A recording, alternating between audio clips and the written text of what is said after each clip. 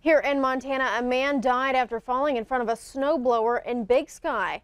Dispatch received a call Monday afternoon reporting an unattended death on Ridgeview Loop Road.